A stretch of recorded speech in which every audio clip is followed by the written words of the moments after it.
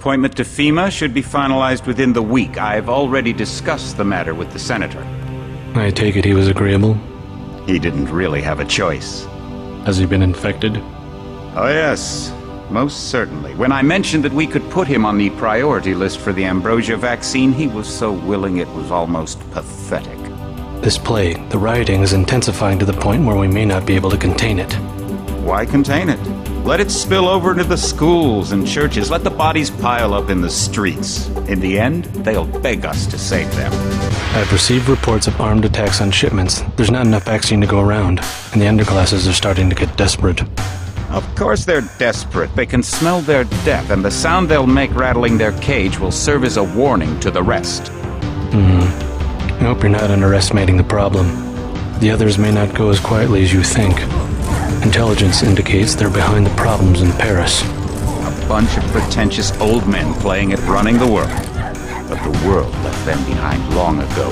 We are the future. We have other problems. UNATCO? Formed by executive order after the terrorist strike on the statue. I have someone in place, though. I'm more concerned about Savage. He's relocated to Vandenberg.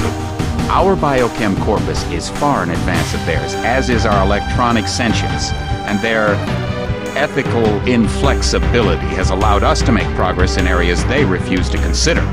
The augmentation project? Among other things, but I must admit that I have been somewhat disappointed in the performance of the primary unit. The secondary unit should be online soon. It's currently undergoing preparation and will be operational within six months. My people will continue to report on its progress. Necessary, the primary will be terminated. We've had to endure much, you and I, but soon there will be order again. A new age. Aquinas spoke of the mythical city on the hill. Soon that city will be a reality, and we will be crowned kings. Not better than kings. God.